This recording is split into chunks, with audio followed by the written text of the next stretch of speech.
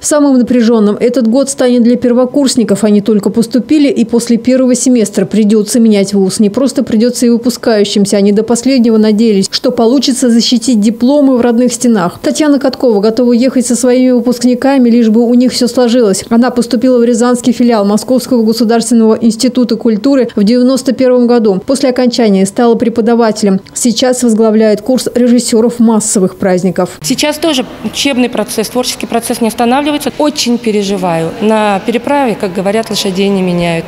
Нам предлагают и московские вузы, и куда-то еще защищаться. Но сами знаете, что такое выпускной курс и как в это сложное время поменять вуз. Если в новостях говорилось о том, что о закрытии филиала сообщили только на заседании ученого совета и документов никто не видел, то заместитель директора уверяет, вопрос о ликвидации уже решен. Он ликвидирован 26 августа 2019 года.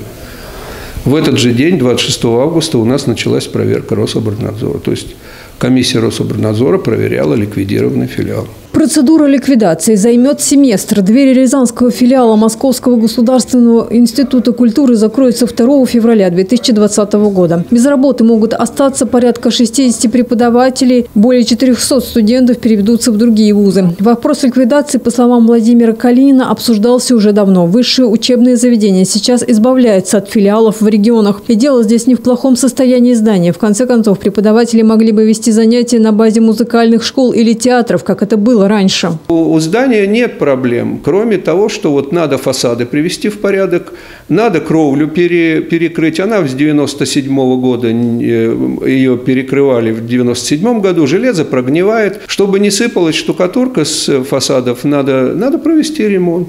Это не ремонт, который требует одновременного огромного количества средств. Достаточно ежегодно, спокойно выделять определенное количество, дозированное количество, и здесь это все будет решено.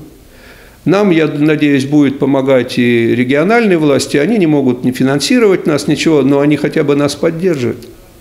Вот, и эта поддержка, она всегда ощущалась. Спасти родной вуз пытаются студенты. Иван Васильев создал петицию, адресованную министру культуры Владимиру Мединскому с просьбой не закрывать филиал. Вся моя жизнь связана с этим вузом. У меня, получается, мама здесь работала педагогом, отец учился, сестра учился. То есть у меня вся жизнь прошла с малых лет с этим институтом. И когда нам сказали, что нас закрывают, это просто сердце разрывалось. И хотелось об этом рассказать как можно больше всем, всем, всем. И тут же, как только нам сказали, я создал петицию, и на самом деле поддержали меня абсолютно все студенты. Надо отметить, что Рязанский филиал Московского государственного института культуры – единственный вуз, готовящий библиотекарей, хореографов, художественных руководителей творческих коллективов. Если его закроют, учиться придется ездить в столицу. Кроме того, неизвестно, что будет со студенческими театрами и другими объединениями, работающими сейчас в вузе. Дина Исляева, Данил Пилипенко, телекомпания «Город».